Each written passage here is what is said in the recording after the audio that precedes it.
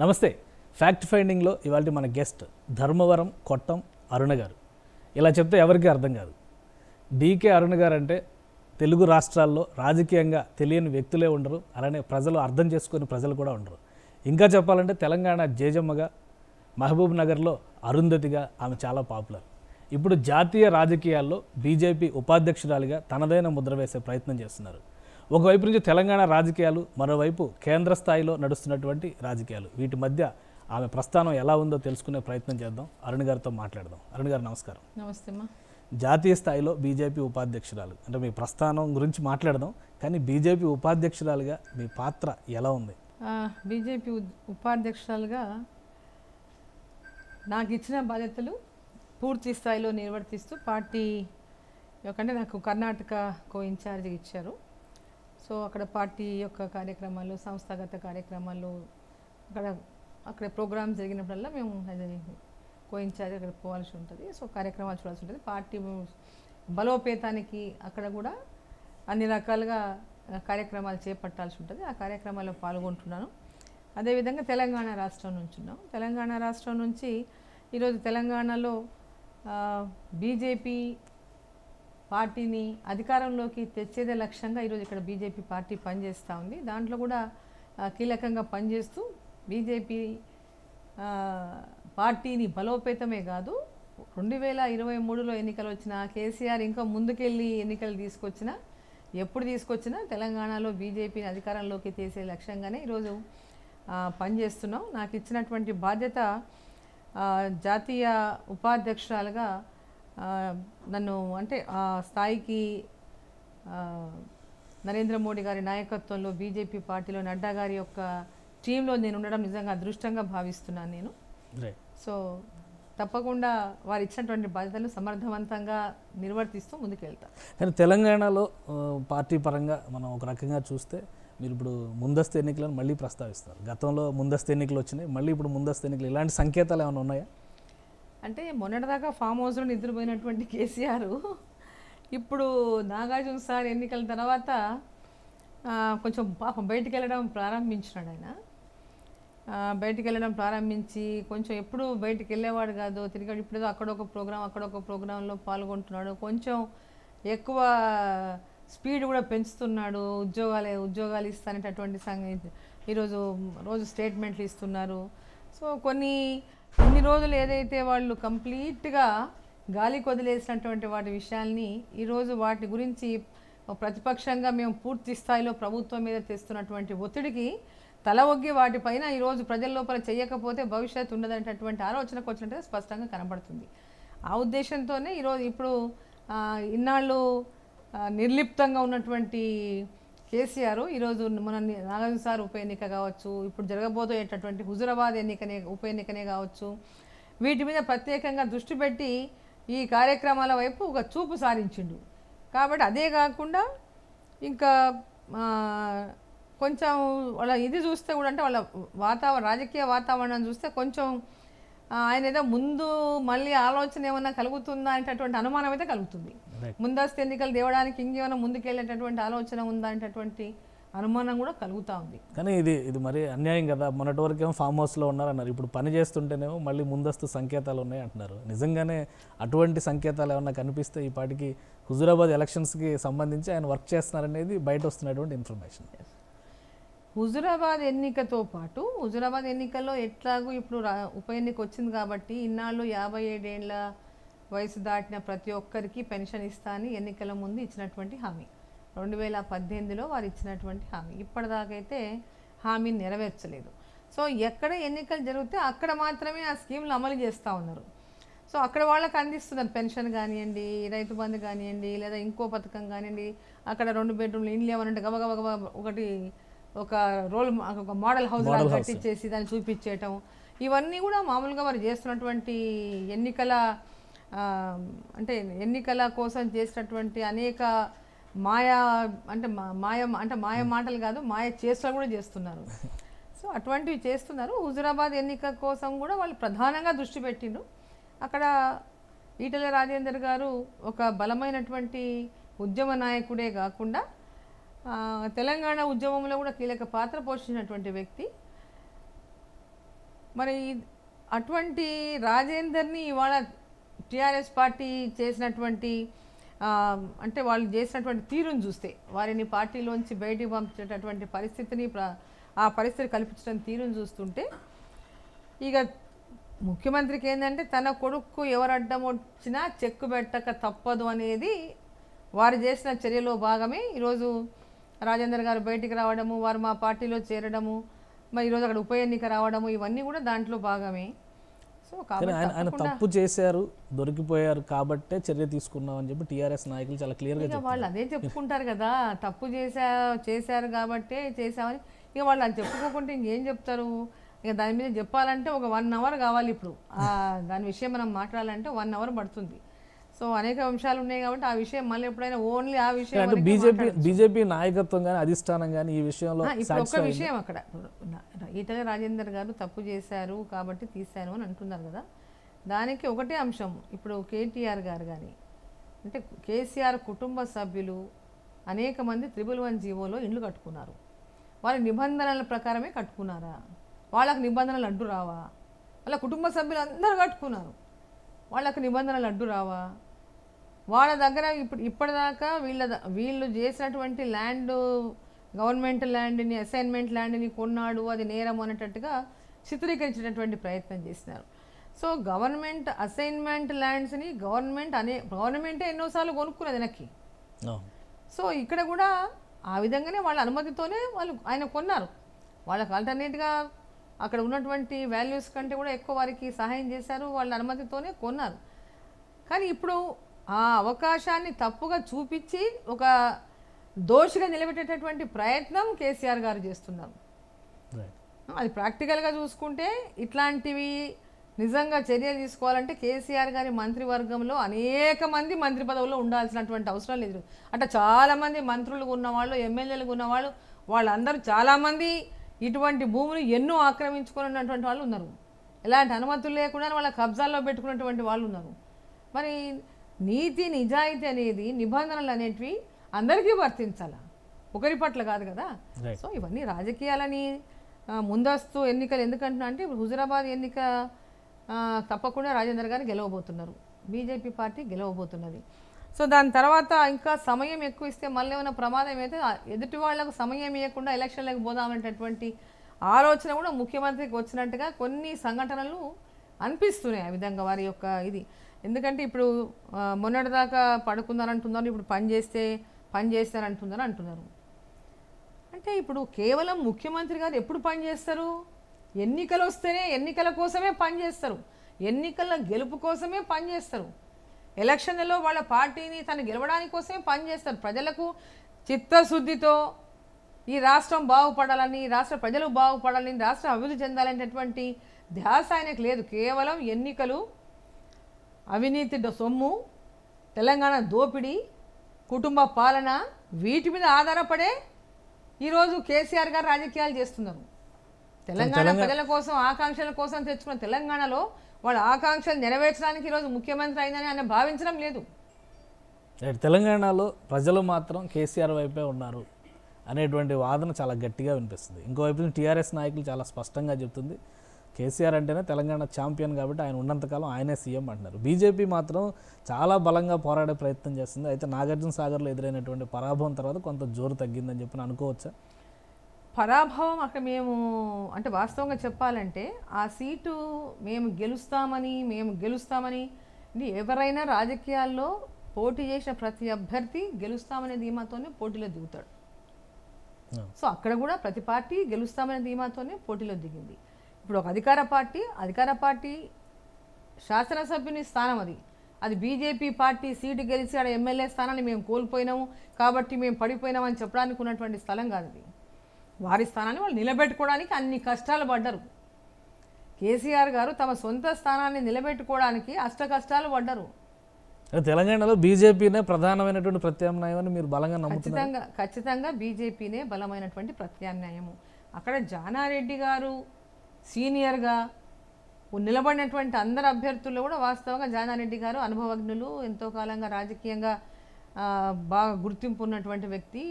ఇక్కడ నిలబడినటువంటి వాళ్ళు ఆయన ముందర చూస్తే చాలా జూనియర్స్ కొత్త వాళ్ళు. సో వారి ముందు అక్కడ నిలబడింది ఏమి? అధికార పార్టీ కేసీఆర్. అక్కడ అక్కడ అభ్యర్థి ఎమ్మెల్యే అభ్యర్థి అభ్యర్థిని చూసి ఓట్లు వేయలేదు. అభ్యర్థి అక్కడ కేసీఆరే. ఎక్కడ ఉప ఎన్నికలు వచ్చినా అభ్యర్థి కేసీఆరే. ఏడ జనరల్ దుబ్బాకలో- ఎలక్షన్లు వచ్చినా అందరు అందరు కేసీఆర్లే వాళ్ళు. ఎందుకని కేసీఆర్ అభ్యర్థులకు సెల్ఫ్ సెల్ఫ్ ఐడెంటిటీతో ఎక్కడ ఎమ్మెల్యేలు ఎన్నుకోబడటం లేదు. ప్రతి ఒక్కరు మేము కేసీఆర్కు ఓటు వేస్తున్నామనే ఓటు వేస్తున్నారు ఎందుకు వేస్తున్నారంటే కేసీఆర్ మొత్తం ఇక రెండు వేల పెన్షన్ ఇచ్చిండని రైతు బంధు ఇచ్చిండని వేశారు ఓట్లు. ఈయన డబ్బులు లెక్కలేనంత డబ్బు గుమ్మరిచ్చాడు ఓటర్లకి నాయకులకి. ఇక అడ్డగోలుగా అసలు ఒక వ్యవస్థని కంప్లీట్గా చిన్నాభిన్నం చేసిండు ఈరోజు రాజకీయ వ్యవస్థని. కరప్ట్ చేసేసిండు మొత్తం వ్యవస్థని. ఇప్పుడు నేను కరప్ట్ అయితే అయినప్పుడు ప్రజలు ఎందుకు కరప్ట్ కాకూడదని అనుకొని కరప్ట్ చేసేసాడు. రైట్ అంత ఆధారాలుగా ఉంటే బీజేపీ మరి అధికారంలో ఉంది. ఆధారాలు ఆధారాలు ఆధారాలు అనేటటువంటి కేసీఆర్ నేను ఒకటే చిన్న మాట అంటే ఆధారాలు కాదు. కేసీఆర్ గారు నేను నీతిమంతుణ్ణి. నా దగ్గర అవినీతి సొమ్ము ఒక పైసా లేదు అని యాదాద్రి గడుతున్నారు యాదగిరి నరసింహస్వామి గుడిలో గంట కొట్టి చెప్పగలడా? చెప్పండి. రైట్. అంటే కేసీఆర్ గారు చేస్తున్నటువంటి అభివృద్ధిని ప్రజలు ఓన్ చేసుకున్నారు. మీరు అన్నారు ఇప్పుడు ఉప ఎన్నికలో ఆయనే అభ్యర్థిలా కనిపిస్తున్నారని. అట్లాంటి ఐకానిక్ లీడర్షిప్ అనేది బీజేపీకి తెలంగాణలో అవసరమా? అసలు ఉందా? కేసీఆర్ గారు అంతకుముందు లీడరా? కేసీఆర్ గారు ముఖ్యమంత్రి కాకముందు లీడరా? తెలంగాణ తెచ్చే వరకు అయితే ఆయన సెంటిమెంట్తో వచ్చాడు. ఆ సెంటిమెంట్ అయిపోయింది. ఆయన ఏం చేస్తాడో ఏం చేస్తాడో ప్రజలు చూశారు. అధికారంలో ఉన్నాడు కదా అని ఓపిక పట్టుకొని ఉన్నారు ఇప్పుడు. ఎందుకంటే హరాస్మెంట్ తట్టుకోలేక అందరినీ వేధింపులు పోలీసులను అంటుపెట్టుకొని విపరీతమైనటువంటి వేధింపులు. ఒక ల్యాండ్ పని చిన్న ల్యాండ్ పని ఉందంటే ఒక కార్యకర్త కానీ ఒక సామాన్యుడికి కానీ వానికి ల్యాండ్ పని ఏదైనా ఆఫీస్కి వెళ్ళి పని చేయించుకోవాలంటే అది టీఆర్ఎస్ పార్టీలోనే ఉంటేనే సాధ్యమవుతుంది. ఒక చిన్న పోలీస్ స్టేషన్లో లేదా గొడవ అయింది స్టేషన్ ఎక్కాడు అంటే టీఆర్ఎస్ పార్టీ పార్టీలో ఉన్నవాడైతేనే ఆ సమస్య పరిష్కారం అవుతుంది లేకపోతే ఇబ్బందులు ఎదుర్కోవాలి. ఇటువంటి అనేక హరాస్మెంట్స్ ఉన్నాయి. ఇటువంటి చరిత్రలో ఎప్పుడూ లేవు. అటువంటి అటువంటి వేధింపులకు భయపడి ఓపికతో ఉన్నారు ప్రజలంతా కాదు అన్ని వర్గాల వాళ్ళు ఓపికతో వేచి చూస్తున్నారు. ప్రతి ఒక్కరికి కూడా తెలంగాణలో మనం తెలంగాణ దేనికోసమైతే సాధించుకున్నామో ఆ తెలంగాణ ప్రజల ఆకాంక్షల తెలంగాణ ప్రజల ఏ అంటే ఏ ఆకాంక్షలతోనైతే అభివృద్ధి వివక్ష నీళ్ళు నిధులు నియామకాలనేటటువంటి పేరుతో ఈరోజు తెలంగాణ సాధించుకున్నాము. అది ఈరోజు మనకు కంప్లీట్గా విరుద్ధంగా నడుస్తూ ఉంది. సో అవన్నీ కూడా నెరవేరాలి. తెలంగాణ ప్రజల ఆకాంక్ష నెరవేరాలి. తెలంగాణ తెచ్చుకున్నటువంటి ఆక అంటే తెచ్చుకున్నటువంటి ఏమంటారు? లక్ష్యం నెరవేరాల్సిన లక్ష్యము మనం ఎందుకోసమైతే ఏ లక్ష్యంతో తెలంగాణ కావాలని కోరుకున్నామో ఆ లక్ష్యం కూడా ఇప్పటిదాకా నెరవేరలేదు. సో ఇవన్నీ కూడా ప్రజలలో ఆలోచన ఉంది. ఆ లక్ష్యం నెరవేరాలా? ఆ ఆకాంక్ష నెరవేరాలంటే ఖచ్చితంగా అది ఆ ప్రజాస్వామ్యబద్ధంగా ప్రజాస్వామ్యయుతంగా పరిపాలన తెలంగాణ రాష్ట్రంలో రావాలా? ఈ కుటుంబ పాలన మరి నశించాలా? అందం కావాలంటే ఖచ్చితంగా దానికి బీజేపీ పార్టీతోనే సాధ్యమవుతుంది. అండ్ ఈ ఫ్రిక్షన్ అనేది కేసీఆర్ వర్సెస్ డీకే అరుణగా నడుస్తుందా లేదా టీఆర్ఎస్ వర్సెస్ బీజేపీగా నడుస్తుందా? ఎందుకని కేసీఆర్ గారి విధానాలు కానీ కేసీఆర్ గారు అంటే కానీ మీకు నచ్చరు. ఆయన మీద పర్సనల్గా నాకేం లేదు పార్టీ అనేది నాకేం లేదు. బట్ ఆయన ఏంటంటే తెలంగాణ సాధించుకున్నటువంటి లక్ష్యం ఒకటి. సాధించుకున్న తర్వాత ఆయన లక్ష్యం ఒకటి. ఆయన లక్ష్యం మారిపోయింది. తెలంగాణ సాధించుకునే ముందేమో మన ప్రాంతానికి వివక్ష. మన ప్రాంతాన్ని నిర్లక్ష్యం చేశారు మన ప్రాంతంలో అభివృద్ధి జరగలేదు మన నీళ్ళు తీసుకెళ్ళారు మన నిధులు తీసుకెళ్ళారు మన నియామకాలు ఉద్యోగాలు తీసుకెళ్ళారు అని చెప్పి మనం ప్రజలకు నమ్మించి మనం మన తెలంగాణ రాష్ట్రం ఏర్పాటైతే మన పిల్లలకందరికీ ఉద్యోగాలు వస్తాయి. కనీసం ఇంటికి ఒక ఉద్యోగం అన్న వస్తుంది. ప్రతి ఇంట్లో ఒకరికి ఉద్యోగం వస్తుంది. మన నీళ్ళు మనం వాడుకుంటాం. మన నీళ్ళు మనకు వచ్చి మొత్తం మన పొలాలన్నీ సస్యశ్యామలం అవుతాయి మన నిధులు మనకు వస్తాయి మన నిధులతో అంత సమంగా అన్ని ప్రాంతాలు సమంగా అభివృద్ధి చేస్తామనేటటువంటి మాట మాట్లాడిన కేసీఆర్ గారు.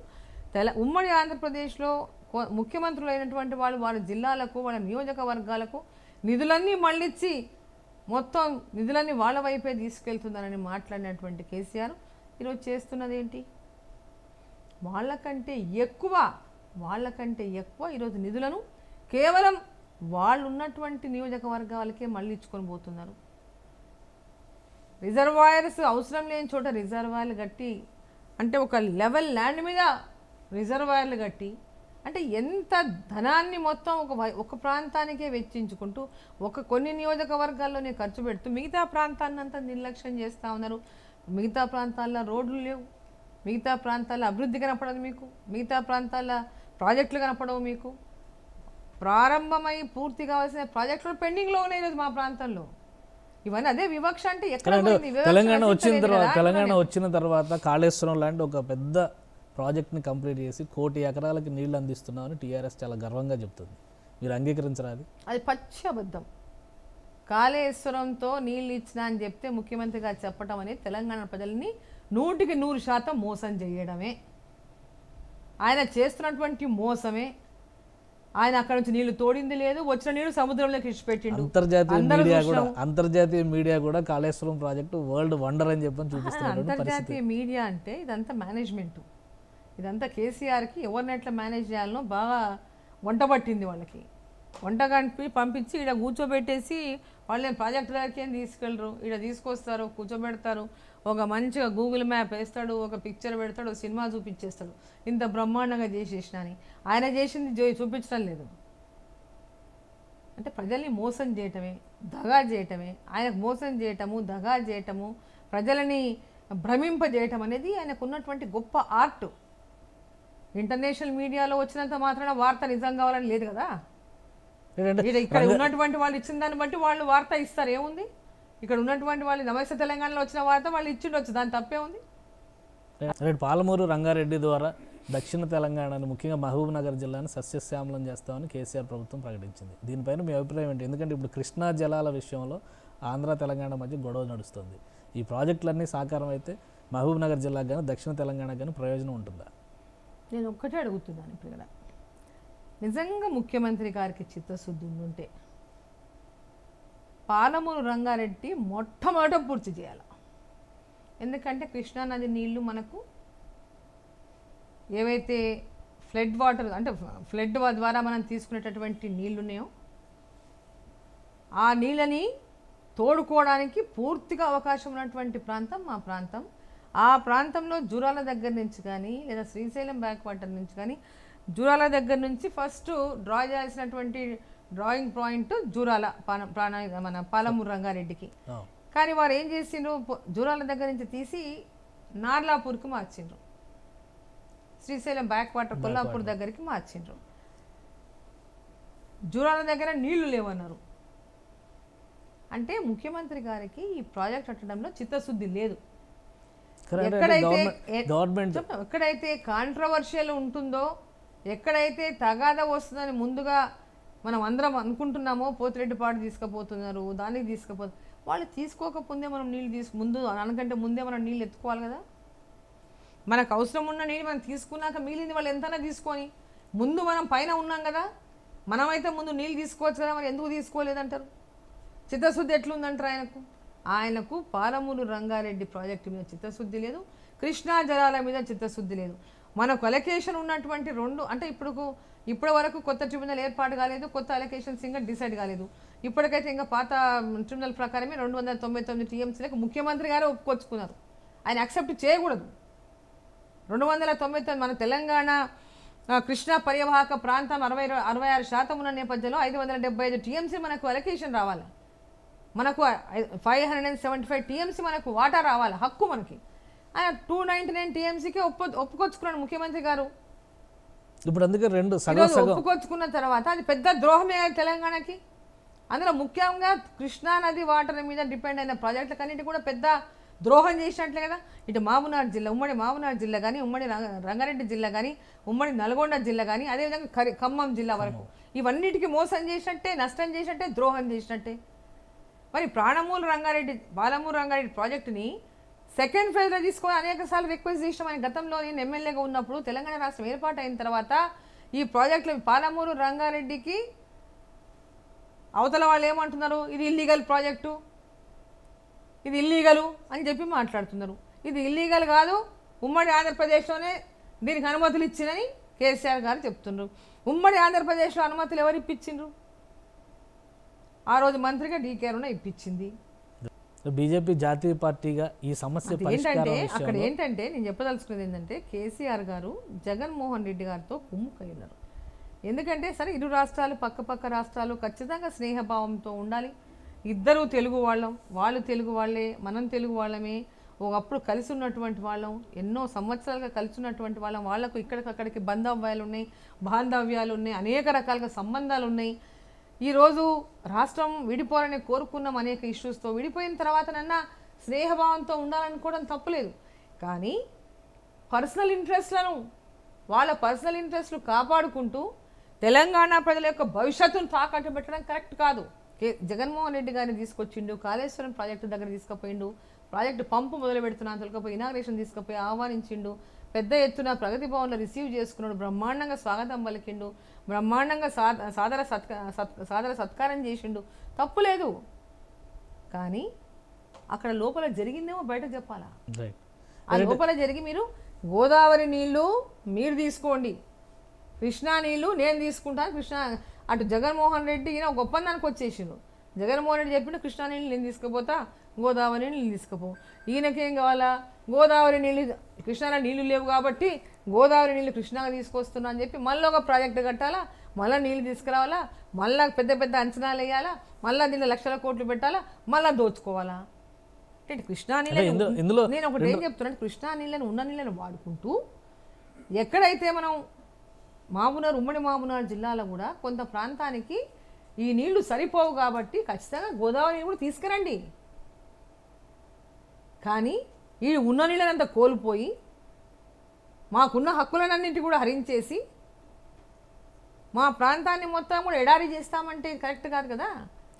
వారితో కరెక్ట్ ఖచ్చితంగా ముఖ్యమంత్రి గారు ఇదే యొక్క లోపాయికారి ఒప్పందంతోనే ఈరోజు కృష్ణానదిలో కృష్ణానది కింద పాలమూరు రంగారెడ్డి కంప్లీట్ చేయలేదు. నెట్టెంపాడు కానీ భీమా కానీ నెట్టెంపాడు భీమా కల్వకుర్తి కోయిల్సార్ పూర్తి స్థాయిలో ఇంకా నీళ్ళు నిలుపుకోవడం లేదు. అంటే పనులు పూర్తి కాలే కాబట్టి నిలబెట్టు నిలుచు నిలుపుకునేటటువంటి సామర్థ్యం లేదు. గట్టు లిఫ్ట్ ఇంతవరకు ప్రారంభం చేయలేదు. తుమ్మిళ్ళ లిఫ్ట్ ఎక్కడి దాకానే గొంగడి ఆగిపోయింది. ఆర్డీఎస్ నీళ్ళు ఇప్పటిదాకా ఏడ ఆర్డీఎస్ కూడా అదే తంతు. ఇప్పటిదాకా ఆర్డీఎస్ రావాల్సిన వాటాను ఇప్పటిదాకా మనం తీసుకోలేదు. దానికి ఆల్టర్నేట్గా నీళ్ళు తీసుకోవడానికి ఏర్పాటు చేసుకోవడానికి అన్ని అవకాశాలు ఉన్నా దాన్ని ముందుకు తీసుకుపోవడం లేదు. అంటే దీని అంతా చూస్తే ఏమనిపిస్తుంది? ముఖ్యమంత్రి గారి చిత్తశుద్ధి ఉందని ఎట్లా అనుకోవాలనిపిస్తుంది చెప్పండి మీరు? గతంలో నీటి వినియోగం గురించి చాలా గట్టిగా మాట్లాడినటువంటి ఇప్పుడు డీకే అరుణ గారు గతంలో పట్టించుకోలేదు. సమైక్య రాష్ట్రంలో ఉన్నప్పుడు తెలంగాణ ప్రయోజనాల గురించి మాట్లాడలేదు. అలానే గాలేరు నగరి సుజల స్రవంతి ఇలాంటి ప్రాజెక్టులకు స్వాగతం పలికారు. ఆర్డీఎస్ విస్తరణకి రాజశేఖర రెడ్డి గారు శంకుస్థాపనలు చేసిన పను పనులకు అనుమతులు ఇచ్చినా కానీ పట్టించుకోలేదు. ఇటువంటి విమర్శలను టీఆర్ఎస్ నాయకులు చేస్తున్నారు. వీటికి సమాధానం ఉందా? పచ్చి అబద్ధాలు ఇవన్నీ కూడా. ప్రాజెక్టులు ఈరోజు మామునార్ జిల్లాలో ప్రాజెక్టులు పూర్తయినాయి. నెట్టెంపాడు కానీ కల్వకుర్తి కానీ భీమా కానీ కోయిల్సార్ కోయిల్సార్ అయితే వాళ్ళు మట్టి కూడా దిలే కావాలల్లా ఈ ప్రాజెక్టులన్నీ పూర్తయినాయంటే అది డీకేర్ ఉన్న కృషి వల్లనే పూర్తయినాయి. ఆనాటి మంత్రిగా ఆనాటి ఎమ్మెల్యేగా ఆనాడు ప్రతిపక్షంలో ఉండి చేసిన పోరాటాల ఫలితమే అధికారంలోకి వచ్చిన తర్వాత ఆనాటి ముఖ్యమంత్రి రాజశేఖర రెడ్డి గారితో ఈ ప్రా జిల్లా మామూనార్ జిల్లాలో ఉన్న ప్రాజెక్టులను అన్నీ కూడా ఆయన టేకప్ చేసినాడు. ఆ టే మామూనార్ జిల్లాకి ఇవన్నీ అవసరమైన పాదయాత్రల ద్వారా ఆ రోజు పెద్ద ఎత్తున కార్యక్రమాలు చేసినాం. ఈ ప్రా- మామూనార్ జిల్లాకు నెట్టెంపాడు కల్వకుర్తి భీమా కోయిల్సారి ఇవన్నీ పూర్తి చేయాలనేటటువంటి విధంగా పెద్ద ఎత్తున ప్రారంభం చేయాలి పూర్తి చేయాలి. మామూనార్ జిల్లాను ఈ కరువు జిల్లాని వలసల జిల్లాని ఎడారిగా ఉన్న జిల్లాని సస్యశ్యామలం చేయాలనేటటువంటి ఒక లక్ష్యంతో పాదయాత్రలు చేసి అధికారంలోకి వచ్చిన తర్వాత ఆ ప్రాజెక్టులన్నింటినీ కూడా ప్రారంభం చేయించుకొని పూర్తి చేసుకున్నాం నేను మంత్రిగా ఉన్నప్పుడే.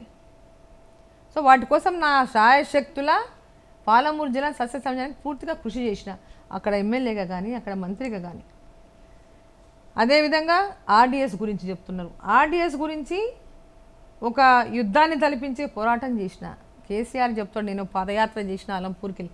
ఆయన పాదయాత్ర చేసిన పాదయాత్ర నథింగ్. నేను చేసిన పోరాటం కింద ఆయన పాదయాత్రకు ఎలాంటి అసలు ఇదే లేదు. పాదయాత్ర వాటి కోసం పోరాటం చేసిన కత్తులు కటార్లతో నా మీద దాడి చేసిన వాళ్ళకి ఎదురు నిలబడి పోరాటం చేసినాము వేలాది మందిలు నాతో పాటు రైతులందరూ పోరాటం చే- పోరాటంలో భాగస్వాములు ఉన్నారు. ఆ తర్వాత దాదాపు ఐదో రోజు నియర్లీ సిక్స్ డేస్ ఆమరణ నిరాహార దీక్ష చేసిన. మంచినీళ్ళు కూడా ముట్టకుండా. కేసీఆర్ లాగా లోపల సిప్పులు దాగి దీక్షలు చేయలేను నేను. రోడ్డు మీద కూర్చొని చౌరస్తల రోడ్డు మీద కూర్చొని దీక్ష చేసిన ఒక మహిళనైనా. ఆయనలాగా దీక్షలు చేయలే లోపల దాగి వచ్చి బయట కూర్చోలేను అప్పుడు కర్ణాటక అంత పెద్ద పోరాటాన్ని చేసి నేను ఎమ్మెల్యే అయిన తర్వాత వాటిని అన్నిటినీ కూడా కంప్లీట్ చేయించుకున్నా. చిత్తశుద్ధి లేని ఎవరికి? ఆర్డిఎస్ దగ్గర స్లూయిస్ రంధ్రాలని మూసివేయించిన. ఆర్డిఎస్ దగ్గర రాజశేఖర రెడ్డి గారు ముఖ్యమంత్రిగా ఉన్నప్పుడు సుబ్బారెడ్డి గారు అక్కడ ఒక పవర్ ప్రాజెక్టు కోసం అతను కర్ణాటక ఏరియాలో ఆర్డిఎస్ పైన కర్ణాటక ఏరియాలో పవర్ ప్రాజెక్టు కడుతుందనంటే మన ఏరియా కాకపోయినా రాజశేఖర రెడ్డి గారి దగ్గరికి వెళ్ళి మా ప్రాంతం అంతా నష్టపోతుంది ఈ ప్రాంతం అంతా కూడా అక్కడ పవర్ ప్రాజెక్ట్ వస్తే మా ప్రాంతానికి వచ్చే నీళ్ళు కూడా రావని చెప్పి మాట్లాడి ఆ ప్రాజెక్టుని ఆపేశాం అప్పుడు Telugu Desam government no Telugu Desam government Congress government వచ్చిన తర్వాత వచ్చిన తర్వాత. అప్పుడు రాజశేఖర రెడ్డి గారు ముఖ్యమంత్రి ఉందను పోయి అవతల ప్రాజెక్ట్ కర్ణాటక ప్రాంతంలో అయినా కూడా చెప్పి ఆ ప్రాజెక్టును ఆపించినాం సో ఇంత కమిట్మెంట్గా పనిచేసిన ఆ స్లూయిస్ రంధ్రాలు మొత్తం మూయించిన రాజశేఖర రెడ్డి గారు ముఖ్యమంత్రిగానే ఆ స్లూయిస్ రంధ్రాలను కూడా మూసినారు. ఇప్పుడు వీళ్ళు ఏం చేశారు? తెలంగాణ వచ్చి ఏడేళ్ళు అయిపోయింది. మరి నీళ్ళు వస్తలేవు.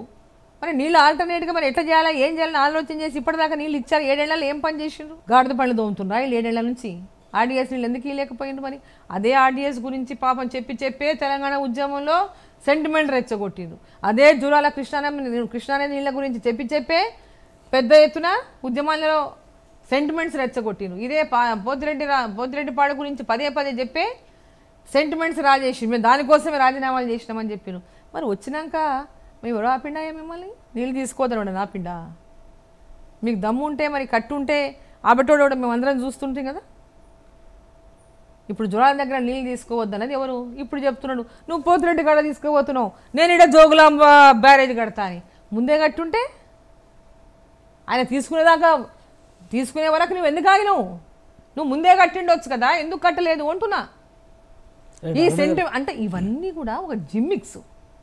ప్రజలను మళ్ళీ ఒక సెంటిమెంట్ అనేటటువంటి భయో తెలంగాణకు అరే ఏడేళ్ళు నువ్వే ముఖ్యమంత్రి అయ్యా సిగ్గుండాలి ఈ మాటలు మాట్లాడనీకే?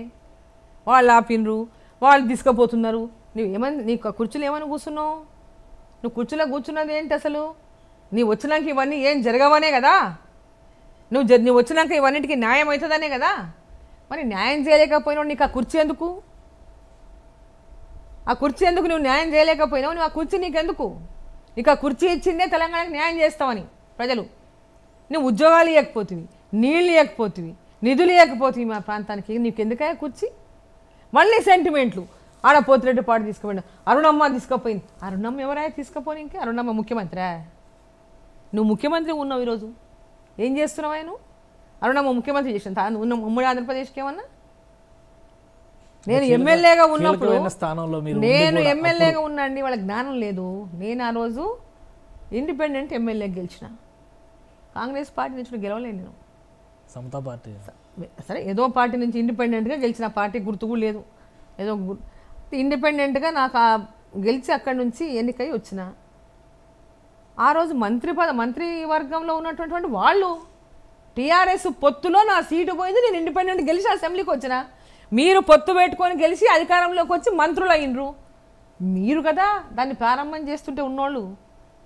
నేనెందుకైతేనే దాన్ని బాధ్యురాల్ని? దాన్ని ఆ ప్రాజెక్టును ప్రారంభించినప్పుడు మంత్రివర్గంలో ఉన్న వాళ్ళు మీరు కదా? సరే ముఖ్యమంత్రి రాజశేఖర రెడ్డి గారికి మీరు సన్నిహితమైనటువంటి నేత కాబట్టి మీ ద్వారా ఇప్పుడు అవన్నీ ఇప్పుడు సన్నిహితమైన నేత స- అందరికందరు సన్నిహితులేడా? అందరికందరు సన్నిహితులే. కేటీఆర్ పోయి ఆంధ్రాలో ఏం చెప్పిండు పోయి నిలబడితే ఆంధ్రాలో నన్ను గెలిపిస్తున్నాను పోయి నిలబడకూడదా మరి? చెప్పాడు కదా నేను పోయి అటు పోయి వచ్చాడు కదా? ఆంధ్ర వాళ్ళంతా నన్ను చాలా బ్రహ్మాండంగా చేసి మేము పోతే ఆంధ్రాలో గెలిపిస్తున్నాడు మనం అక్కడ పోయి నిలబడొచ్చు కదా? ఇప్పటికిప్పుడు రాజకీయాలు ఒకరి మీద ఆరోపణలు మాన్యాల. కేసీఆర్ గారు కానీ కేసీఆర్ పార్టీ నాయకులు కానీ మిమ్మల్ని కూర్చోబెట్టింది ఆ కుర్చీలో గతంలో అన్యాయం జరిగిందనే. గతంలో మీరు అది చేశారు గతంలో ఇది చేశారు గతంలో అయ్యా అవన్నీ నడ- నడవలేదనే కదా తెలంగాణ తెచ్చుకున్నారు. ఆంధ్ర నాయకులు తెలంగాణ నాయకులను పడనిస్తలేరు. వాళ్ళు బలం ఎక్కువ ఉంది మన బలం తక్కువ ఉందనే కదా మనం తెలంగాణ కోరుకుని తెలంగాణ తెచ్చుకున్నాం. ఇంకా మీరు అదే చేశారు మీరు ఇది చేశారు. అంటే మిమ్మల్ని కుర్చీలో కూర్చోబెట్టి సిగ్గుందా మీద మాటలు మాట్లాడడానికి చెప్పండి. ఇంకెన్ని రోజులు ఇట్లా ప్రజల్ని ఫూల్స్ చేస్తారు? ఎన్ని రోజులు ఇంకా దొంగ మాటలు చెప్పి ఇట్లా ప్రజలను సెంటిమెంట్ మాటలతోన అట్లా ఆ విధంగా మోసం చేస్తారు? తెలంగాణ మొత్తం కృష్ణానది నీళ్ళని అమ్ముకున్నోడు కేసీఆర్. కృష్ణానదిని జగన్మోహన్ రెడ్డికి ఈరోజు తాకట్టు పెట్టిండు కేసీఆర్. తెలంగాణకు ఈరోజు కేసీఆర్ పెద్ద ద్రోహి. కృష్ణానది నీళ్ళను అమ్ముకున్నటువంటి ద్రోహి. పాలమూరు రంగారెడ్డి మహబూబ్ నగర్ జిల్లా ఖమ్మం జిల్లా ప్రజలకు చేసినటువంటి పెద్ద కుట్ర కేసీఆర్ చేసిన పెద్ద కుట్ర ఇది. నీవు కేవలం ఆయన డబ్బులు సంపాదనని ఆలోచించుకున్నాడు కానీ మా రైతుల గురించి ఆయన ఆలోచన చేయలేదు. ప్రాజెక్టులు అంచనాలు పెంచాలి అడ్డగోలుగా లక్షల కోట్లు అప్పులు తేవాలి వేల కోట్లు దోచుకోవాలి ప్రజలకు ఆ కోట్లు వేసి కోట్లు డబ్బులు పంచాలి ఎన్నికల్లో గెలవాలి ఆ కుర్చీని కాపాడుకోవాలి. ఆ ఆలోచన తప్పితే ఈరోజు తెలంగాణ మీద ఏ మాత్రమైన చిత్తశుద్ధి ముఖ్యమంత్రికి ఉన్నదా? నేను ఇంతకుముందు చెప్పిన నిజంగా ఆయన అవినీతి పరుడు కాదు నేను అంటే. నేను చెప్పిన మాట చేయమనండి.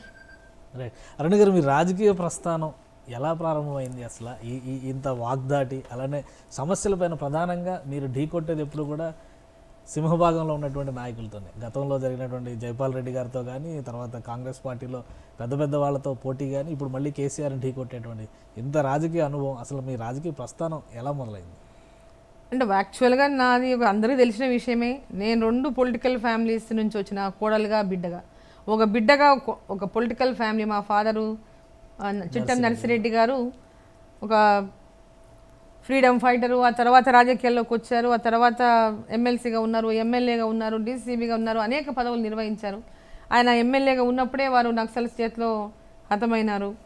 అటు ఒక పక్క కోడలుగా నేను మా ఒక్కొక్క పొలిటికల్ పార్టీకి వెళ్ళాను. మాదే సేమ్ డిస్ట్రిక్ట్ ఉమ్మడి జిల్లా పక్క తాలూకా పక్క పక్క కాన్స్టిట్యున్సీలు. సో అక్కడికి కోడలికి వెళ్ళాను. సో నడిగడ్డ కోడలికి వెళ్ళాను. ధనవాడ బిడ్డని ధనవాడ కోడలికి వెళ్ళాను. నారాయణపేట నుంచి నడిగడ్డకి వెళ్ళాను. సో అక్కడ ఇక్కడ రెండు చోట్ల రాజకీయాలు చూసాం. చిన్నప్పటి నుంచి చూసాం. మాకు అదేమి కొత్త కదా. ఆ రోజు నేనేమో రాజకీయాలు చేయాలని ఇంట్రెస్ట్ కూడా నాకు ఏ రోజు లేదు ఆ రోజు. అటువంటి ఆలోచన లేకుండా నేను భవిష్యత్తులో పాలిటిక్స్ చేయాలా నేను పాలిటిక్స్లోకి పోవాలంటే అటువంటి ఆలోచన నేను చేయలేదు. సరే అనుకోకుండా సరే రెండు పొలిటికల్గా ఫ్యామిలీస్ బ్యాక్గ్రౌండ్ తెలుసు. ఆ అనుభవం ఉంది. చిన్నప్పటి నుంచి చూసిన. కాబట్టి ఆ పదవుల మీద ఆపేక్ష లేదు. పదవి లేకపోతే కృంగిపోయేది లేదు. సో ఎందుకంటే అటు ఇటు రెండు గెలుపులు చూశారు ఓ ఓడిపులు చూశారు కాబట్టి మాకు అన్ని అలవాట్లే ఉన్నాయి. ఆటు పోట్లు రెండు తిన్నాం కాబట్టి ఎలాంటి ఇది లేదు. సరే రాజకీయాల్లోకి అనుకోకుండా రాజకీయాల్లోకి అడుగు పెట్టాను. సరే ఆ ప్రస్థానం రెండు పొలిటికల్ ఫ్యామిలీస్ బ్యాక్గ్రౌండ్ ఉన్నప్పటికీ కూడా చాలా కష్టపడితేనే నేను ఈ స్థాయికి వచ్చిన. ఊరికే వాళ్ళ మా నాయన పేరు ఉందనో మా మామ పేరు ఉందనో నా భర్త పేరు ఉందనో అట్లా గాలిలో నేను పైకి రాలేదు. చాలా కష్టపడి ప్రజల మధ్యలో ఉండి ప్రజల యొక్క కష్టాలు చూసి ప్రజల కష్టాలు తెలుసుకొని ప్రజల కష్టాలను అనేక ఇష్యూస్ పైన పోరాటాలు చేసి ఆ సమస్యను పరిష్కారం చేసి జనాల మధ్యలో ఉండేటటువంటి వ్యక్తిగా ప్రజల యొక్క సమస్యలపైన పోరాటం చేసినటువంటిది ఆటోమేటిక్గా నాకు వచ్చినటువంటిది. అదేవిధంగా ఉన్న విషయాలను ఉన్నట్టుగా మాట్లాడేటటువంటి తత్వం అది ఎవరైనా సరే అది వాస్తవాలని బయటకు చెప్పేటటువంటి అలవాటు నాకు ఉన్నటువంటి నైజము. అబద్ధాలు చెప్పేది అలవాటు లేదు. లేకుంటే సెల్ఫ్ గొప్పలు చెప్పినది కూడా అలవాటు లేదు. మా సొంత ఏమంటారు అది డబ్బా కొట్టుకునే అలవాటు కూడా లేదు. అరుణ్ గారు రాష్ట్రంలో పాలన గురించి రకరకాల విమర్శలు చేశారు. కానీ కేంద్రంలో ఉన్నటువంటి మోడీ గారి పాలన మీద కూడా అనేక విమర్శలు ఉన్నాయి. ధరల పెరుగుదల దగ్గర నుంచి డిమానిటైజేషన్ వరకు చాలా విమర్శలు ఉన్నాయి. వీటికి సమాధానం ఏం చెప్తారు బీజేపీ నేతగా? విమర్శలు అనేటివి ప్రజలకు నష్టం చేసే ఉంటే వాటి విమర్శలను సద్విమర్శలుగా తీసుకోవాలి. దాని గురించి ప్రభుత్వాలు కూడా వాటి పట్ల సానుకూలంగా ఆలోచన చేసి ప్రజలకు మేలు చేసే విధంగా పనిచేయాలి. భారతీయ జనతా పార్టీ ఏదైనా సద్విమర్శలు ఉంటే ఖచ్చితంగా వాటిపైన ఆ విమ వాటి మీద తప్పకుండా రివ్యూ చేసుకుంటుంది వాటి సమీక్షించుకుంటుంది. నిజంగా వాటి వల్ల ప్రజలకు ఎక్కడైనా నష్టం జరుగుతుందంటే వాటి మీద తప్పకుండా అంటే ఇక్కడ ఇక్కడ ఉన్న ప్రభుత్వంలాగా భేషజాలకు పోయేది ఏమి ఉండదు. సో అట్లా ఇప్పుడు ఇప్పుడు ధరలు పెరుగుతాయి ధరలు ధరలు పెరుగుతున్నాయి. ఈరోజు మనం చూస్తున్నాం లాస్ట్ టూ ఇయర్స్ నుంచి కోవిడ్ సిచ్యువేషన్ చూస్తున్నాం. ఈ కోవిడ్ సిచ్యువేషన్లో అసలు భారతదేశం అతలాకుతలం అయిపోతుంది. ఇంత పెద్ద ఎత్తున పాపులేషన్ ఉన్నటువంటి దేశము ఈ దేశం పరిస్థితి ఏమవుతుంది ఆర్థిక స్థితిగతులు ఏమైతే కంప్లీట్ కుప్పగూలిపోతుంది భారతదేశం అనుకున్నారు. కానీ ఈరోజు దానికి విరుద్ధంగా ఈరోజు భారతదేశాన్ని మనం చూస్తూ ఉన్నాం. ఆత్మనిర్భర్ భారత్ అని. అందరికీ కూడా భారతీయ జనతా పార్టీ కేంద్ర ప్రభుత్వంలో ఉన్నటువంటి ఎన్డీఏ ప్రభుత్వం ఈరోజు అండగా నిలిచింది ధైర్యాన్ని ఇచ్చింది ప్రోత్సాహాన్ని ఇచ్చింది. అన్ని రకాలుగా కూడా ఈరోజు మేము మే ప్రభుత్వం మీ వెంబడి ఉందనేటటువంటిది ఈరోజు ఆ విధమైనటువంటి పాలనతో ముందుకు పోతా ఉంది. ఇక ధరల విషయంలో అంటే పెట్రోల్ గురించి మాట్లాడతారు జనరల్గా మాట్లాడేది పెట్రోల్ గురించి అందరూ మాట్లాడేది. అంటే అందరికీ తెలిసిన విషయం అంటే చాలామంది ఐ మీన్ పొలిటికల్గా సరే కింద వాళ్ళకి తెలియకపోవచ్చు ధరల పెరుగుదల గురించి అందరికీ అంత పెద్ద అవగాహన ఉండొచ్చు లేకపోవచ్చు కానీ అందరికీ కూడా ఈరోజు అవగాహన ఏంది కాంగ్రెస్ పీరియడ్లోనే పెద్ద ఎత్తున బాండ్స్ తీసుకున్నారు. ఆ బాండ్స్ అంతా ఈరోజు రీపేమెంట్ వల్లనే దీనికి ఆ అప్పు రీపేమెంట్ వల్లనే ఈరోజు దీన్ని ధరలు తగ్గించలేకపోతున్నటువంటి పరిస్థితి అనేది ప్రతి ఒక్కరికి తెలుసు. ఇది ప్రతి ఒక్కరికి ఎక్స్ప్లెయిన్ చేయాల్సినటువంటి అవసరం ఎవరికి ఉంటుంది? ఇప్పుడు ధరలు కనుక నిజంగానే పెంచే అవసరం లేకుంటే ఒక్క రూపాయి కూడా భారత ఎన్డీఏ ప్రభుత్వం పెంచదు. ఈరోజు దేశంలో ఉన్నటువంటి గత ప్రభుత్వాలు చేసినటువంటి అప్పులని కేంద్ర ప్రభుత్వం తీర్చుకుంటూ దీన్ని బ్యాలెన్స్ చేసుకుంటూ ముందుకు పోతున్నది. ఎక్కడ ఎలాంటి అభివృద్ధిలో బ్రేక్ రాకుండా ముందుకు తీసుకెళ్తా ఉంది దేశాన్ని నడుపుతుందంటేనే అది ఒకసారి మనం అందరం అర్థం చేసుకోవాల్సినటువంటి అవసరం. సామాన్యంగా సామాన్యులకు అందరికీ సరే ఈరోజు పెట్రోల్ వంద రూపాయలు అయింది భారం సామాన్యులకి. ఎందుకంటే అన్నీ కూడా ట్రాన్స్పోర్ట్ మీదనే బేసిక్గా డిపెండ్ అయి ఉంటాయి కాబట్టి దాని మీద ఇతర అన్నీ పెరుగుతాయి అనేటటువంటిది. అది ఎందుకు పెరిగింది అనేటటువంటిది కూడా చెప్పాలి కదా చెప్పేవాళ్ళు విమర్శించడం తక్కువ ఎదురు మీద తోసేయడం కాకుండా మన మన రాష్ట్రంలో ఎంత ట్యాక్స్ వేస్తున్నారు పెట్రోల్ మీద చెప్పండి ఒకసారి? కేంద్రం ట్యాక్స్ సెస్ ఎంత? మన రాష్ట్రం సెస్ ఎంత? ముప్పై తొమ్మిది రూపాయలు మన వాళ్ళే వేస్తున్నారు ఇక్కడ. కేంద్రం ఎంత వేస్తుంది? పంతొమ్మిది రూపాయలు ఇస్తుంది ఇప్పుడు ఎవరు ఎక్కువ వేస్తారు ఇక్కడ చెప్పండి? అంటే తమ చేసే దేశం మీద మోసే దేశం మీద మోపడం ఎందుకు? పెట్రోల్ అంశాన్ని కూడా జిఎస్టీ పరిధిలోకి తీసుకొస్తే ఈ సమస్య ఉండదనేటువంటి వాదన ఎప్పుడు ఏవి తేవాలో అప్పుడు తెస్తారు కదా? బరువు మోసేవాడికే తెలుస్తుంది. అందరికి మనకు తెలియదు ఏముంది?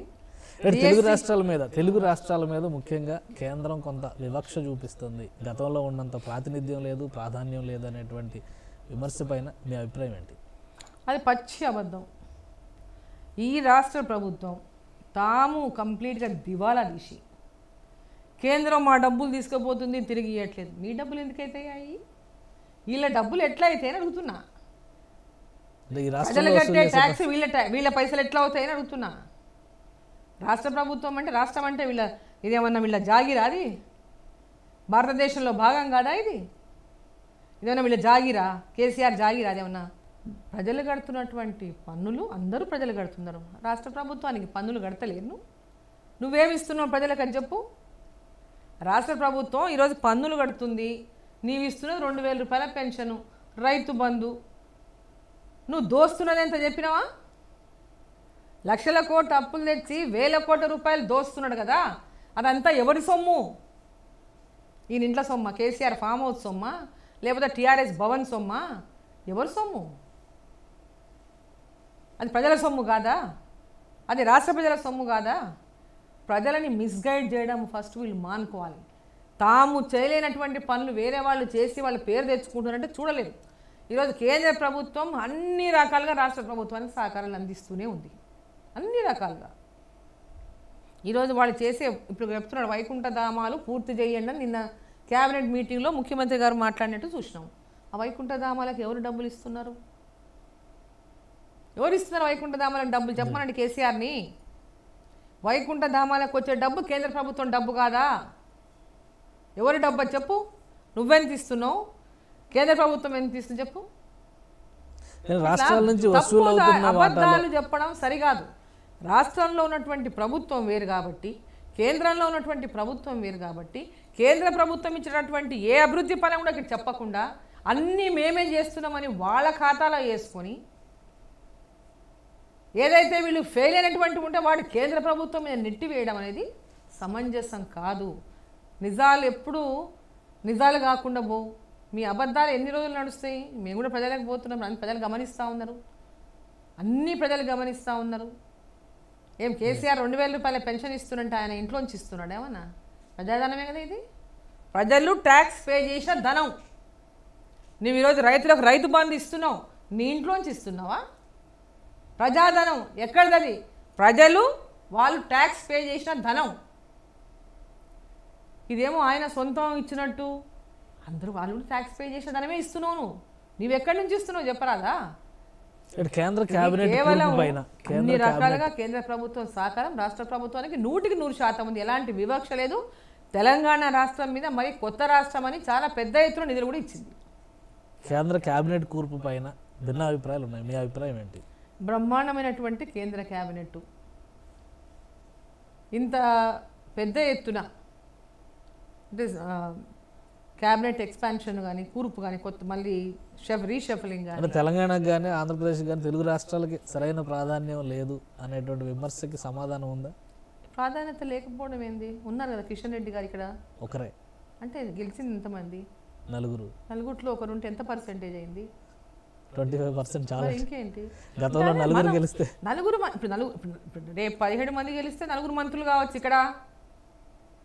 ఇప్పుడు ఎక్కువ ఎక్కడైతే ఎక్కువ మంది గెలిచి ఉంటారో వాళ్ళు కూడా ఇప్పుడు కే- ఇప్పుడు కేసీఆర్ గారి మంత్రివర్గం గురించి చెప్పండి. ఇప్పుడు ఒకరి ఒకరిని ఏళ్ళు పెట్టి చూపే ముందు నాలుగేళ్ళు మన వైపు చూపిస్తే కూడా గమనించాలి విమర్శించేవాళ్ళు. ఇప్పుడు అంత చక్కగా యంగ్స్టర్స్ని ఎంతమందిని తీసుకున్నారు కొత్త వాళ్ళకి ఎంతోమందికి అవకాశం కల్పించారు. ఇరవై ఏడు మంది బీసీ ఓబీసీలకు అవకాశం కల్పించారు. ఎస్సీలకు ఎనిమిది మంది ఎస్సీలకు అవకాశం కల్పించారు. అంటే ఆ వాటిలో కూడా డిఫరెంట్ దీంట్లో నుంచి వచ్చినటువంటి ఆల్ దాంట్లో కూడా మన దగ్గర ఒక ఎస్సీ వర్గం కావచ్చు డిఫరెంట్ స్టేట్లలో డిఫరెంట్ వర్గాలు. అందరికి కూడా దాంట్లో స్థానం కల్పించారు. ఒక దేశానికి సంబంధించింది ఒక రాష్ట్రంలోనే వీళ్ళు కరెక్ట్గా చేయలేకపోతున్నారు. దేశవ్యాప్తంగా అందరినీ సమకూర్చుని అన్ని కులాలకు వర్గాలకు మతాలకు చేసేటటువంటి ఒక కూర్పును బ్రహ్మాండమైన కూర్పును ఈరోజు నరేంద్ర మోడీ గారు కల్పించారు. ఉమెన్కి ఎంతమందికి అవకాశం ఇచ్చారు? అసలు అంత మంచి అవకాశాలు ఇవ్వటమే కాకుండా కాకుండా అందరికి కూడా వారు ఒక దిశానిర్దేశం చేశారు. అందరినీ కూడా మనం దేశం అంటే వాళ్ళ ప- పనితీరును కానీ అన్నింటినీ కూడా పెంచుకుంటూ అందరికీ ఏ విధంగా అందుబాటులో ఉండాలి ఏ విధంగా తమ సర్వీసెస్ రెండర్ అన్ని- అన్ని రకాలుగా వాళ్ళు మానిటర్ చేసుకుంటూ బ్రహ్మాండంగా ట్వంటీ ఫోర్ అవర్స్లో ఐ థింక్ ఇరవై గంటలు పని చేస్తారని అంత అనుకుంటున్నాను ఇరవై గంటల ఇరవై గంటలు ఖచ్చితంగా నరేంద్ర మోడీ గారు పనిచేస్తున్నారు ఇక ఈ అంటే ఈ భారతదేశం యొక్క స్థితిగతులను రూపాన్ని పూర్తిగా మార్చాలి దీన్ని ఒక మహోన్నతమైనటువంటి దేశంగా దిద్దాలనేటటువంటి ఆలోచన పరంపరతో వాళ్ళు ముందుకు పోతున్నారు. ఇక విమర్శలు అనేటివి ప్రతిపక్షం అనగా విమర్శిస్తుంది. ఆ విమర్శ అనేది సద్విమర్శగా ఉండి నిజంగా తప్పులను విమర్శిస్తే ఎలాంటి తప్పు లేదు. విమర్శ చేయాలి కాబట్టి చేస్తున్నాము అంటే అది కరెక్ట్ కాదు. రైట్ తెలంగాణ పైన వైఎస్ఆర్ ముద్ర ఎలాంటిది? డికే అరుణ్ గారు అప్పుడు మంత్రిగా కూడా ఉన్నారు ఆ పరిపాలన అంతా చూశారు. మీ అభిప్రాయం ఏంటి? తెలంగాణ పైన సరే ఆ రోజు ఉమ్మడి రాష్ట్రంలో మా ముఖ్యమంత్రిగా ఉన్నారు రా- రాజశేఖర రెడ్డి గారు. ఆ రోజు కూడా తెలంగాణ డిమాండ్ ఉన్నప్పటికీ వారు ఉన్నంతకాలం అయితే ఆ డిమాండ్ అంత పెద్దగా అంటే తగ్గిపోయింది. ఆఫ్టర్ ఈ ప్రాజెక్ట్స్ అన్నీ కూడా చేపట్టిన తర్వాతనండి తెలంగాణలో అనేక డెవలప్మెంట్స్ కానివ్వండి హౌసింగ్ ప్రోగ్రామే కానివ్వండి వాళ్ళ అనేక ఇరిగేషన్ ప్రాజెక్ట్ తీసుకోవడం వలనైతేనేమి పెద్ద ఎత్తున తెలంగాణలో కూడా అభివృద్ధి అనేది ఆ రోజు టేకప్ చేశారు కాబట్టి వారు ఒక తెలంగాణ వ్యాప్తంగా వారికి ఒక మంచి ఫాలోయింగ్ ఉండింది మంచి ఇమేజ్ కూడా ఉండింది. ఇప్పటికి కూడా రాజశేఖర రెడ్డి గారు అంటే అందరూ అభిమానించే వాళ్ళు గౌరవించే వాళ్ళు చాలామంది ఉన్నారు. ఆయన అంటే అభిమానం ఉన్నటువంటి వాళ్ళు చాలామంది ఉన్నారు. దాంట్లో ఎలాంటి అనుమానం లేదు. మేము కూడా సొంత ఓన్ బ్రదర్గా మేము ఆయనని భావి అంటే ఓన్ రక్తం పంచుకొని పుట్టినటువంటి అన్న కాకపోయినా అంత ఫీలింగ్ ఉండేది. వారిని చూస్తే అంత గౌరవం అనిపించేది అంత ఆప్యాయత అనిపించేది అంత వారు పిలిచేటటువంటి ఆ- పిలుపులో కూడా ఆ అనురాగము అభిమానం కనిపించేది. సో న్యాచురల్గా అది ఒకరికి ఉండే ఒకరు ఇచ్చి పుచ్చుకుంటారు అనేటటువంటి అదే రకమైనటువంటి బంధవ్యం బంధాన్ని మేము వారు ఉన్నంతకాలం కొనసాగి వారు అంటే వారి మరణాన్ని కూడా మేము అసలు ఊహించుకోలేము. అసలు ఆ కూడా ఊహించుకుంటే చాలా బాధాకరమైనటువంటిది. చాలా తెలంగాణ పైన వారు ఖచ్చితంగా వారి ముద్ర ఉన్నది దాంట్లో. ఎలాంటి అనుమానం లేదు. మరి ఆ ముద్రకు వారసులు ఎవరు? ఇప్పుడు తెలంగాణలో జరుగుతున్నటువంటి వారసులు అంటే ఇప్పుడు తెలంగాణలో వారి వారసులు అంటూ సరే ఇప్పుడు షర్మిల గారు వచ్చారు పార్టీ పెట్టారు బట్ ఐ డోంట్ థింక్ సరే ఎవరైనా ఎక్కడైనా పార్టీ పెట్టొచ్చు. అభిమానం వేరు ఇక్కడ రాజకీయం వేరు. ఇప్పుడు రెండు రాష్ట్రాలు విడిపోయినాయి. రెండు రాష్ట్రాలు విడిపోయిన నేపథ్యంలో ఇప్పుడు తెలంగాణ అనేటటువంటి ఒక ప్రాంతీయ ఫీలింగ్ వచ్చింది. ఆ ప్రాంతీయత అనేటటువంటి ఫీలింగ్తో ఇప్పటికిప్పుడు తెలియదు కానీ భవిష్యత్ సంగతి తెలియదు కానీ ఇప్పటికిప్పుడు మరి షర్మిల సక్సెస్ అవుతుందా అనేది నాకు కొంచెం అనుమానమే. అరుణ గారు ఇప్పటివరకు మనం రాజకీయ అంశాలు మాట్లాడడం కానీ సామాజిక అంశాల కోణంలో చూస్తే షర్మిల ప్రవేశం ఇక్కడ ఒక వర్గాన్ని టార్గెట్ చేస్తుంది. ఆ వర్గానికి సంబంధించిన ఓట్ బ్యాంక్ని తీసుకోవాలని ట్రై చేస్తున్నారు అని చెప్పని వాదన ఒకటి ఉంది. మీరేమంటారు? సరే వారు ఏ ఉద్దేశంతోనో ఇక్కడ పార్టీ పెట్టారు ఇక్కడ తెలంగాణలోనే స్థిరపడిపోవాలని పార్టీ పెట్టారా? తెలంగాణలో రాజశేఖర రెడ్డి గారి యొక్క అభిమానులు ఉన్నారు ఇంకా. వారు ఇక్కడ ఒక ముఖ్యమంత్రిగా అందరి మనసుల్లో కూడా చోటు సంపాదించారు చాలామంది. అంత చాలామంది ప్రజలు అభిమానించే వాళ్ళు ఉన్నారు. సో వారిని ఆ అభిమానాన్ని తను క్యాష్ చేసుకోవాలని భావిస్తూ ఉందా? మరి ఏ ఆలోచనతో వారు ఇక్కడ పార్టీ పెట్టిందో అది షర్మిల గారికే తెలుసు. అంటే నాకున్నటువంటి అనుభవం రాజకీయంగా ఉన్నటువంటి అనుభవం మేరకు ఇక్కడ షర్మిల గారు పార్టీ పెట్టడం వల్ల పెద్దగా ఉపయోగం ఉంటుందని అయితే నేను అనుకోను. ఉపయోగం ఉండదని నేను అనుకుంటున్నాను. సామాజిక సెంటిమెంటల్ మీద సెంటిమెంట్స్ పైన ఏదో రా- ఆ, అంటే ఏర్పాటైంది తెలంగాణ రాష్ట్రం. ఈరోజు ఈ సెంటిమెంట్స్ పైన ఏర్పాటు ఏర్పాటైనప్పుడు గతంలో చూసాం మనం లాస్ట్ టైం చంద్రబాబు నాయుడు గారితో కాంగ్రెస్ పార్టీ పొత్తు పెట్టుకున్నప్పుడు అది ఎట్లా మొత్తం బూమరాంగ్ అయిందో మనం చూసాం. సో ఆ ఫీలింగ్ ఇంకా ప్రజల లోపల ఉంది. ఈ ఆ ఫీ- చంద్రబాబు నాయుడు అంటే ఆంధ్ర ఆయన ఇక్కడికి వచ్చి పొత్తు పెట్టుకున్నాడు. ఆ ఫీలింగ్ ఉంది. సో అది షర్మిల విషయంలో కూడా అలానే ఉంటుందని అనుకుంటున్నాను.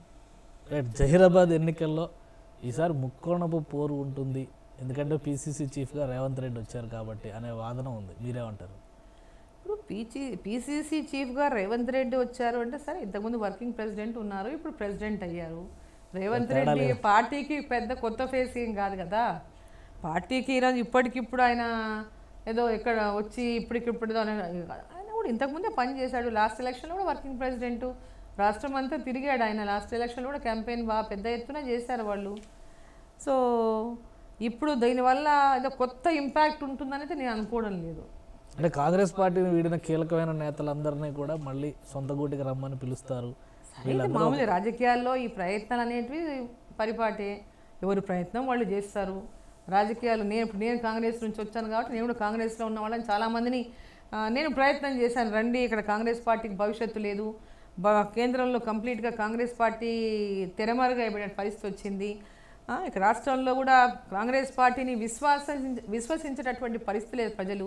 గెలిపించినా కూడా వాళ్ళు పార్టీలు మారిపోతున్నటువంటి పరిస్థితి ఉన్నది. తెలంగాణలో కాంగ్రెస్ పార్టీ అధికారంలోకి రావడం అనేది ఒక కళ. దాని విషయంలో అనవసరంగా రాజకీయాల్లో ఉండి సర్వీస్ చేయాలనుకునేటటువంటి వాళ్ళకంతా కూడా బీజేపీ మనకు ముందున్నటువంటి అంటే ముందు భవిష్యత్తుని కల్పించినటువంటి పార్టీ. దేశంలో కానీ రాష్ట్రంలో కానీ అవకాశాలు మనకు వస్తాయి. పబ్లిక్లో ఉండగలుగుతాం పనిచేయగలుగుతాం. మనం అనుకున్న రకంగా పొలిటికల్గా కూడా ప్రజల్లో ఉండి సేవలు అందించగలుగుతాం అనేటటువంటి ఇది కొందరితో మాట్లాడాను నేను కూడా చాలామందితో మాట్లాడాను. సో దాంట్లో కొంతమంది సరే సరైన సమయంలో నిర్ణయం తీసుకుంటామనేటటువంటి ఆలోచనలో ఉన్నారు. ఇంత లోపల సరే ఇప్పుడు రేవంత్ రెడ్డి గారు ఇన్ని రోజులు పీసీసీ పెండింగ్ కాబట్టి రేవంత్ రెడ్డి గారు పీసీసీఆర్ కాబట్టి అందరి దగ్గర పోతారు. సామాన్యమే ఇప్పుడు కొత్తగా పీసీసీఆర్ కాబట్టి అందరినీ కలుస్తారు. సామా ఇది జనరల్గా ఎవరైనా కొత్తగా అయినప్పుడు అందరి దగ్గరికి వెళ్ళాల్సిందే. ఇప్పుడు మా సంజయ్ గారు కూడా ప్రెసిడెంట్ అయినాక అందరి పెద్దలని కలిశారు. అట్లే ఆయన కూడా వాళ్ళ పార్టీలో పెద్దలని కలుస్తున్నాడు.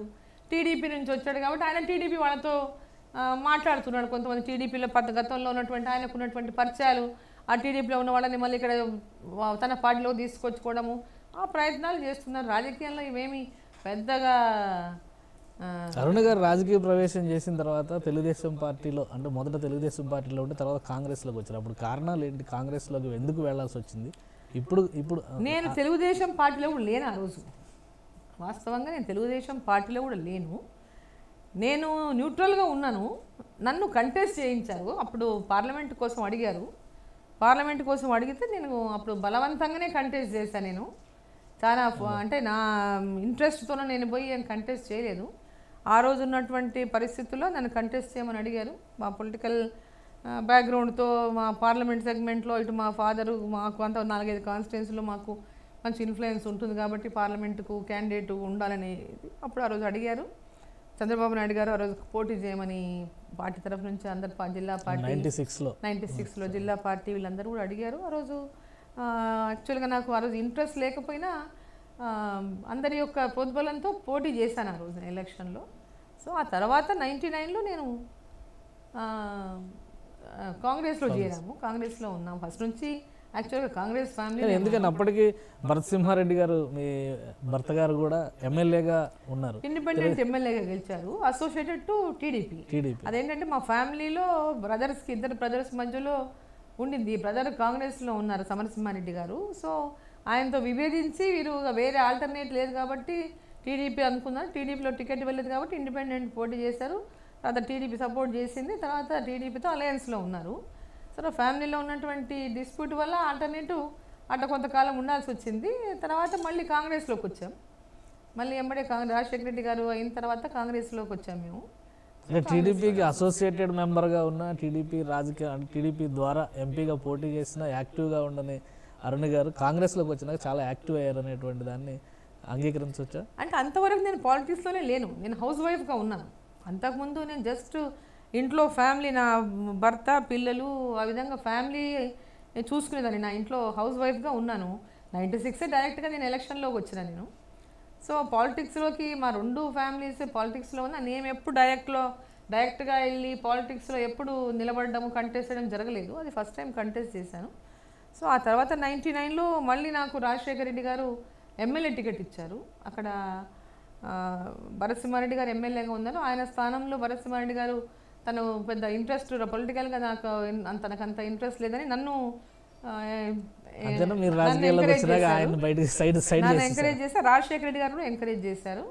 సరేలే భరత్ నువ్వు వ్యాపారాలు చూసుకోపో అన్న ఉంటుందని చెప్పి అట్లా ఎంకరేజ్ చేశారు. సో అప్పుడు నేను కంటెస్ట్ చేశాను ఎమ్మెల్యేగా.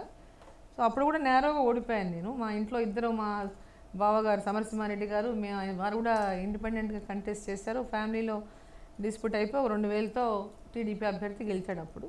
సో ఆ తర్వాత మళ్ళీ నేను నెక్స్ట్ టూ థౌజండ్ ఫోర్కి వచ్చేవరకు అనేక పోరాటాలు చేశాను. అప్పుడు చాలా పెద్ద ఫోర్ ఇండిపెండెంట్గా ఎందుకు పోటీ చేయాల్సి వచ్చింది కాంగ్రెస్ పార్టీలో? టీఆర్ఎస్ అలయన్స్లో ఇచ్చేశారు ఆ సీటుని. అది అది కూడా పెద్ద రాజకీయంతోనే కావాలనే ఇచ్చేశారు. నేను ఆ టూ థౌజండ్ ఫోర్ కంటే ముందు నేను చేయను ఉద్యమాలు ఏం చేయవు నేను చేయను పోరాటాలు లేవు. అసలు జిల్లాలో కాంగ్రెస్ పార్టీ అంత పెద్ద ఎత్తున ఊపు అందుకోవడానికి కూడా కారణం నేనేం చెప్పొద్దు. అంటే ఎలాంటి అనుమానం లేదు. నా పాదయాత్రలు కానీ నా నిరాహార దీక్షలు కానీ నేను ఆర్డీఎస్ దగ్గర చేసిన పోరాటమే కానీ ప్రజల లోపల పెద్ద ఎత్తున చైతన్యం తీసుకొచ్చింది ఆ పోరాటం. దాంట్లో చాలా పెద్ద ఎత్తున ప్రజలంతా కూడా ఆదరించారు జిల్లాలో. ఆరు సీట్లు టీఆర్ఎస్ అలయన్స్లో ఇచ్చారు అప్పుడు. ఆరు సీట్లు టీఆర్ఎస్ అలయన్స్లో ఇచ్చినప్పటికీ కూడా మేమందరం ఇండిపెండెంట్లు వేసాం నలుగురం ఇండిపెండెంట్లు వేస్తాం నలుగురు నలుగురు ఇండిపెండెంట్లు గెలిచాం. సో రెండు సీట్లు మటుకు ఒకటి జడ్చర్ల ఇండిపెండెంట్ ఆయన జడ్చర్ల లక్ష్మారెడ్డి గారికి అలయన్స్లో ఇచ్చారు. అక్కడ పోటీ చేయలేదు ఎవరు. సో అక్కడ ఆయన గెలిచాడు. ఇంకొకటి దామోదర్ రెడ్డి గారిని. వారిని అక్కడ పోటీ చేయించారు. అక్కడ పోటీ చేయించారు. వాళ్ళు అక్కడ ఓడిపోయి మిగతా అన్ని మేము నాలుగు నాలుగు ఇండిపెండెంట్ ఆ తర్వాత రాజశేఖర రెడ్డి గారు గవర్నమెంట్ వచ్చిన తర్వాత మీరు నేను వారితో వారితోనే అసోసియేటెడ్గా ఉన్నాను ఇంకా పార్టీ జ- సమాజ్వాదీ పార్టీ అని అన్నప్పటికీ కూడా ఆ పార్టీ ఇక్కడ లేదు దాంతో సింబల్ కూడా మాకు లేదు ఇండిపెండెంట్ సింబల్తోనే గెలిచాను కాబట్టి దాంతోనే ఫ్లోర్ లీడర్గా ఉన్నాను. ఆ ఫైవ్ ఇయర్స్ నాకు అవకాశం ఇచ్చారు మంచిగా అసెంబ్లీలో మాట్లాడడానికి. అది అవకాశం ఒక అనుభవం కూడా నాకు అనుభవానికి కూడా బాగా ఉపయోగపడింది. రాజశేఖర రెడ్డి గారు మంచి సపోర్ట్ ఇచ్చారు నాకు. డెవలప్మెంట్ ఆఫ్ ది నా కాన్స్టిట్యున్సీ కూడా చాలా అసలు అంటే నేను కోరిన ప్రతిది కూడా నా నియోజకవర్గానికి వారు అప్పుడు హెల్ప్ యాజ్ ఏ సీఎంగా నాకు అన్నీ కూడా సపోర్ట్ చేశారు. నెట్టెంపాడు ప్రాజెక్ట్ కానీ అది ఇరవై ఐదు వేల ఎకరాలకు ఉన్నటువంటి ప్రాజెక్టు రెండు లక్షల ఎకరాలకు దానికి అడ్మినిస్ట్రేటివ్ శాంక్షన్ ఇచ్చి అక్కడ నెట్టెంపాడు ప్రాజెక్టుకు అనుమతులు ఇచ్చి దాన్ని ప్రారంభం చేశారు వారి చేతుల మీదుగా. దాని తర్వాత మళ్ళీ నేను మినిస్టర్గా ఉన్నప్పుడు రెండు వేల పన్నెండులో ఆ ప్రాజెక్టుని మేము పూర్తి చేసుకొని నీళ్ళు విడుదల చేసినాము. ఇక్కడ తెలంగాణ రాష్ట్రం ఆవిర్భవించిన తర్వాత మీరు ఒకసారి ఒక పర్యాయం ఎమ్మెల్యేగా ఉన్నారు. ఆ తర్వాత పరిణామాల్లో కాంగ్రెస్ పార్టీ బలహీనపడిందని చెప్పేసి చాలామంది నాయకులు పక్క పార్టీల వైపు చూస్తున్న సమయంలో టీఆర్ఎస్లో చాలామంది సెటిల్ అయ్యారు. అరుణ్ గారు ఎందుకు బీజేపీ వైపు వచ్చారు? అంటే అధికార పార్టీలో ఉండడం అనేది నా లక్ష్యం కాదు. అధికారం ఎక్కడ ఉంటే అక్కడ పోవడం అనేది లక్ష్యం కాదు. ప్రజలకు అంటే ఆ పబ్లిక్ సర్వీస్లో ఉన్నటువంటి వాళ్ళ ముందు నుంచి కూడా మా ఫాదర్ కూడా మా మామగారు కానీ మా ఫాదర్ కానీ మా ఫ్యామిలీ అంతా కూడా మా బావగారు కానీ హస్బెండ్ కానీ ఉన్నది ఉన్నట్టుగా పటాపటా మాట్లాడేటటువంటి నేచర్. నాకు కూడా కొంత వచ్చింది దాంట్లో. ఎవరికంటే వాళ్ళకి పోయి సలాములు కొట్టేటటువంటి నేచర్ లేదు. ఉన్నది ఉన్నట్టుగా మాట్లాడేటటువంటి అలవాటు ఉంది. ప్రజల మధ్యలో సర్వీస్ చేసినటువంటి ఫ్యామిలీస్ నుంచి వచ్చిన దాన్ని కాబట్టి. సో అక్కడ టీఆర్ఎస్ పార్టీలో ఎవరికి సెల్ఫ్ రెస్పెక్ట్ లేదు ఫస్ట్ థింగ్. అక్కడ నోరు చెప్పేటటువంటి అవకాశం కూడా లేదు. ప్రజల సమస్యల మీద అడిగేటటువంటి అవకాశం లేదు. సో అక్కడ పోయిన వాళ్ళంతా కూడా మరో రోజు మరుగైపోతారు. సో అక్కడ ఆత్మగౌరవాన్ని చంపుకొని ప్రజల మధ్యలో ఉండేటటువంటి వాళ్ళం మా గుర్తింపే ఉనికినే కోల్పోయేటటువంటి ప్రమాదం ఉన్న దగ్గరికి సెల్ఫ్ రెస్పెక్ట్ దగ్గరికి పోవడానికి ఇష్టపడలేదు. సో కాబట్టి నేను ఎప్పుడు కూడా టీఆర్ఎస్ వైపు ఏ ఒక్కరోజు నేను టీఆర్ఎస్ వైపు ఆలోచించలేదు. నాకు టికెట్ రానప్పుడు కూడా అలయన్స్లో నాకు టికెట్ రానప్పుడు కూడా టీఆర్ఎస్ నుంచి పోటీ చేయమని అడిగారు. అప్పుడు కూడా టీఆర్ఎస్ నుంచి పోటీ చేయమని అడిగితే నేను పోటీ చేయను. చేయను ఇండిపెండెంట్ చేస్తానని చెప్పారు. కానీ ఇప్పుడు ఇప్పుడు మీ బ్రదర్ టీఆర్ఎస్లోనే ఉన్నారు అలానే మీ మీ మీద గెలిచినటువంటి కృష్ణమోహన్ రెడ్డి గారు మీ బంధువు ఆయన టీఆర్ఎస్లోనే ఉన్నారు. చాలా మంది టీఆర్ఎస్ వైపే ఉన్నారు కానీ మీ పోరాటం మాత్రం టీఆర్ఎస్ మీద. ఎవరి నేచర్ వాళ్ళది కదా. ఎవరి ఆలోచన తీరు వాళ్ళది. నా ఆలోచన తీరు డిఫరెంట్. నాకు అన్నిటికంటే ముఖ్యం సెల్ఫ్ రెస్పెక్ట్. అన్నిటికంటే ముఖ్యం చాలామంది చెప్పారు జిల్లా కోసం నేను అప్పుడు పెద్ద ఎత్తున పోరాటం చేసినప్పుడు టీఆర్ఎస్ లేకపోతే జిల్లా ఇస్తారు కదా వెళ్ళమన్నాడు.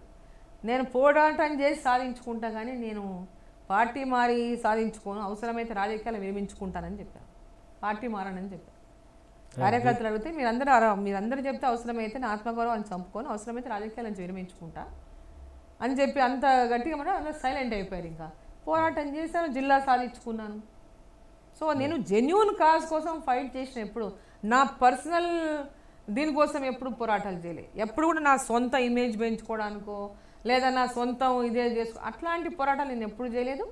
ఎప్పుడు కూడా ప్రజల యొక్క సమస్యలపైనే ప్రజల అవసరాలపైనే పోరాటం చేశాను ప్రజల ఇష్యూస్ పైనే పోరాటం చేశాను లేదు ఈరోజు అరుణ గారు తన ఏమంటారు తన యొక్క ప్రచారం కోసమో లేకపోతే తన యొక్క సోషల్ మీడియాలో ఇప్పుడు రేపు మీడియాలో ప్రచారం కోసం కనపడటానికి కోసం ఏదో చేస్తున్నా. అట్లాంటిది ఏ రోజు కూడా దీకరణ చేయలేదు. చేయలేదు. తెలంగాణలో బీజేపీని ఎప్పుడు ఎన్నికలు వచ్చినా ముందస్తు ఎన్నికలు వచ్చినా జమిలి ఎన్నికలు వచ్చినా అధికారంలోకి తీసుకెళ్ళే దిశగా డీకే అరుణ్ గారు పోరాడతారా? ఖచ్చితంగా. ఖచ్చితంగా ఈరోజు చాలా సమస్యలు ఉన్నాయి తెలంగాణలో. చాలా ఒక్కొక్క జిల్లాలో ఒక్కొక్క రకమైనటువంటి ఇబ్బందులు పడుతున్నారు ప్రజలు.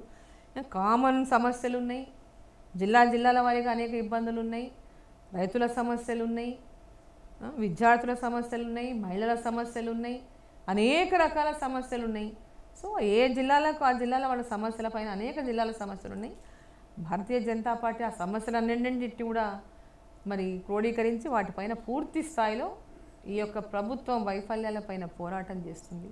అధికారంలోకి వస్తుంది. తెలంగాణ ప్రజలకు ఒక మంచి సుపరిపాలనను అందిస్తుంది. రైట్. థ్యాంక్ యూ అరుణ గారు మీ అభిప్రాయాలను పంచుకున్నాను ఇది ఇవాళ ఫ్యాక్ట్ ఫైండింగ్. ఒకవైపు నుంచి తెలంగాణలో జరుగుతున్నటువంటి రాజకీయ పరిణామాలు ప్రజలకు ఏమాత్రం ప్రయోజనం చేకూర్చడం లేదనేది బీజేపీ నేత అరుణ గారి అభిప్రాయం. అలానే తన పోరాటం కంటిన్యూస్గా కొనసాగుతుంది. టీఆర్ఎస్ పైన అదేవిధంగా రెండు వేల ఇరవై మూడులో కానీ ఇరవై నాలుగులో కానీ ఎన్నికలు వస్తే తెలంగాణలో బీజేపీ జెండా ఎగరడం ఖాయం అని చెప్పని ధీమాగా చెప్తున్నారు. ఇది వాళ్ళ fact finding keep watching